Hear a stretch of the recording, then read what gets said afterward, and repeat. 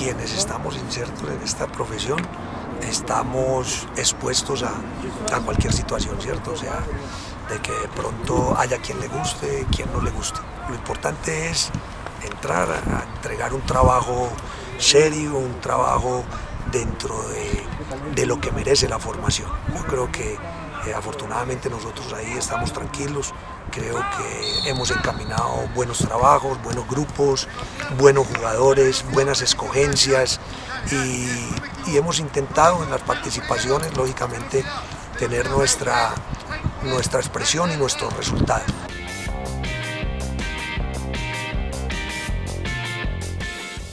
No, no, no, no, para nada.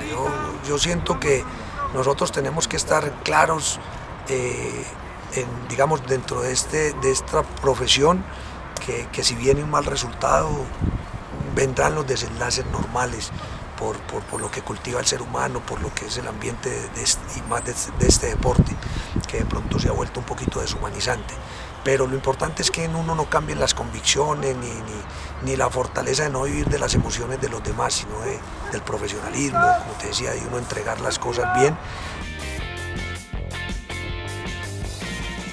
Yo creo que eh, en esto se dan muchos intereses, se dan intereses en todos los niveles, eh, pero realmente a nivel federativo he estado tranquilo, nunca me han mencionado simplemente la, la continuidad, de pronto de, apoyar el trabajo que se ha venido haciendo a nivel de la sub-20 y que esta es la tercera generación que ojalá la, la proyectemos bien y que, y que podamos seguir.